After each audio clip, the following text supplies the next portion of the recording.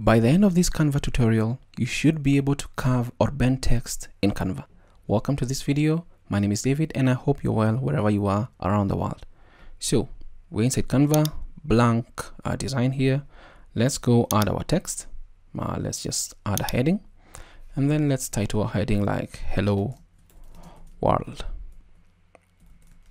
It really depends on how you want to title it, but you can also just increase its size a little bit here and then let's move it to be at the center.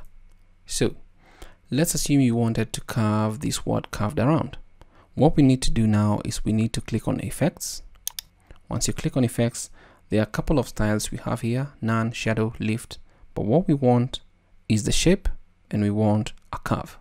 Click on that and by default it curves to more or less a 93 uh, uh, degree or whatever but you can uh, use this slider to adjust the curvature to whatever you want. Let's say something like 70 looks good. And then you can adjust it to whatever you want. But alternatively you can have the text curve the other way around. Let's say you want it to curve like that into the minus 50s and all that. So that is how you can actually curve or bend text in Canva. And it's pretty simple I hope that you're going to make use of it. Uh, that's it from me. My name is David. Until next time, stay safe and never stop learning. Thanks for watching.